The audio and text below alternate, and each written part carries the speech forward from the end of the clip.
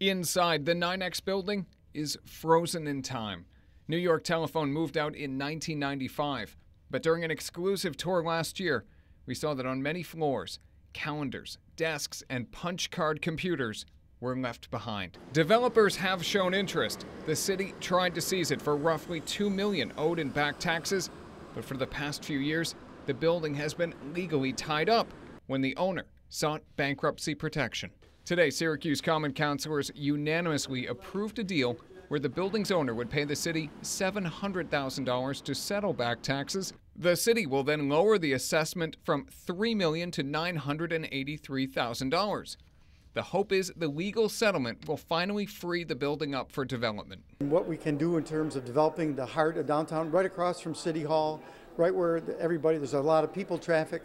While the building's interior is badly outdated, a large 100 spot underground parking structure is very attractive to developers.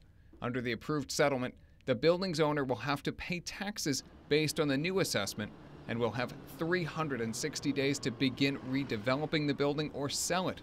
If they don't, they have to pay the city $10,000 a month. Syracuse Common Councilor Jake Barrett praised the city's corporate counsel office who negotiated the deal, but warned people have to have patience. The building has suffered extensive water damage and may need to have asbestos removed. PCBs and the all electric in this building is a daunting task.